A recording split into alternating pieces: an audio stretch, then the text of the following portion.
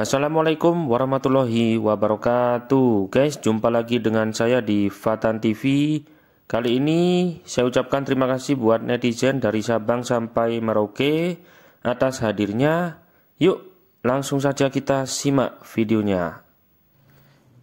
Oke pemirsa, jadi di sini saya seperti biasa akan mereview sebuah granit lantai yang berukuran 60 kali 60 kali ini dari granito ya.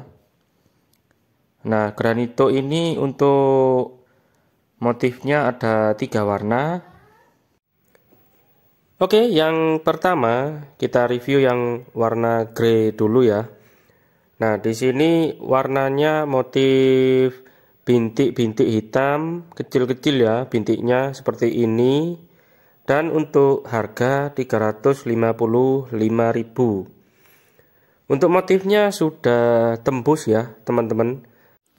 Dan untuk ketebalannya kurang lebih 12 mili dan untuk isinya 4 lembar. Untuk luas per boxnya 1,44.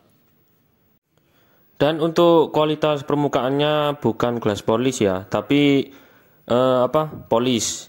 Jadi polish ini untuk permukaannya dia melalui proses polish dengan menggunakan batu abrasif. Jadi untuk kilapnya lebih alami dan lebih tahan terhadap gores. Nah, oke okay, selanjutnya di sini ada granito lagi.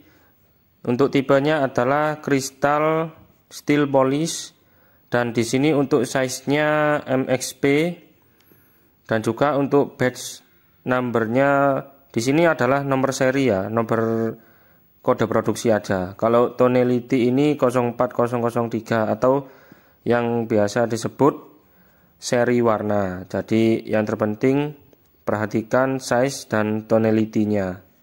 Supaya nanti apa? Nut presisi dan juga warnanya tidak belang. Dan di sini sudah satu seri semua ya, teman-teman. Untuk serinya 04003 dan untuk harganya di sini adalah 402.000. Sedikit, sedikit agak mahal ya dari yang tadi karena mungkin dia lebih elegan untuk warna. Dan untuk detail warnanya seperti ini teman-teman.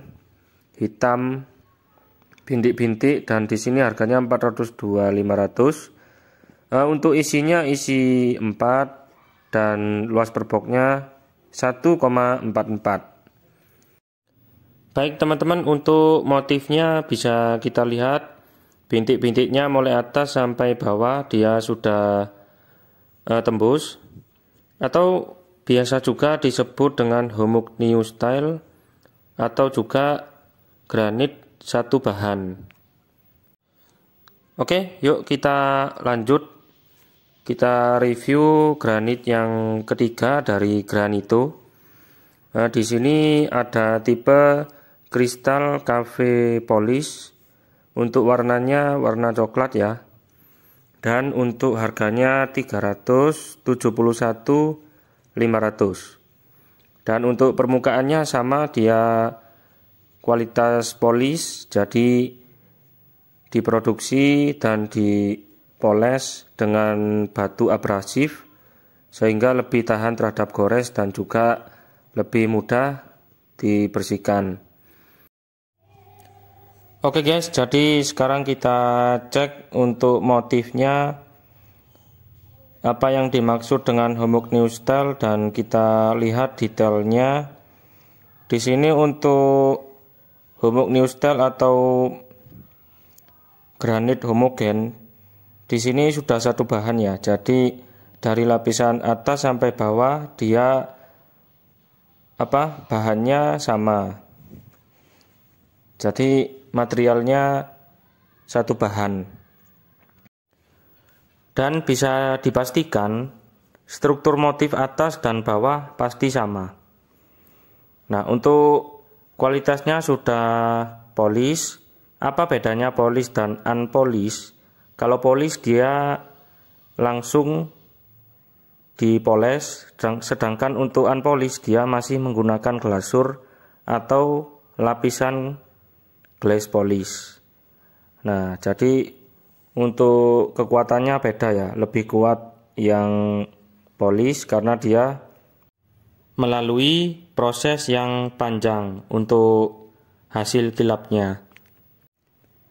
Oke, dulur-dulur, terima kasih untuk kalian yang sudah mampir dan untuk teman-teman yang suka dengan video ini, silakan dukung dengan cara tekan tombol like, komen, dan subscribe ya teman-teman.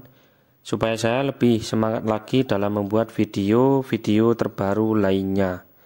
Baik, wassalamualaikum warahmatullahi wabarakatuh.